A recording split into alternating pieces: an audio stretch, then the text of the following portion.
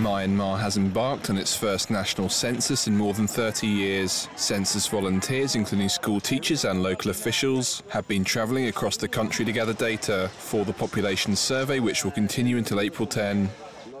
However, the census has proved controversial after an 800,000 strong Muslim group was omitted from the ethnicity section.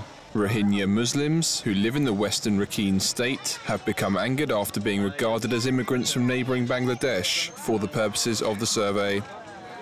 The move came after fears that many ethnic Burmese people, who regard the Rohingya as immigrants, would boycott the census. Native Burmese Buddhists and the Rohingya Muslims have frequently clashed, with a series of human rights abuses reportedly taking place against the Islamic minority.